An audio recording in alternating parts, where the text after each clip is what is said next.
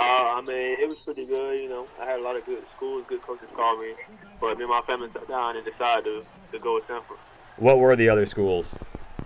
Uh, Murray State, Northern Kentucky, Georgia State, Colorado State, um, Arkansas State, Western Kentucky. I mean, it's a couple others. I can't really remember. Right. And so during the whole process, what was what was the most important thing to you as you were going through the steps? Uh, just really building a relationship with coaches and the players, and you know, going through campuses, talking to the academic advisors. You know, that type of process. So why was uh, Samford so special with those with that? Because the coaches always have a, a good type of swag about themselves. You know, and they've been honest with me from day one. So, and I believe in trusting the coaches. How much did it, the fact that it's in Birmingham play a factor? I mean, it plays a big factor because I'm playing for my, my home city, playing for my hometown.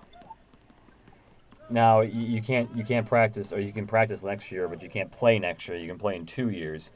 Um, what's it going to be like knowing that you can't play for another you know 20 months? Uh, actually, I'm excited about it because you know I'm gonna use this year as a big part of my development, big big part of my growth. So while I'm sitting out, I can help my teammates, you know, during the games and give them, you know, some advice I learned from some of the best coaches I played with. So I use that as a positive too. What did you think you learned from your time in Alabama for two years?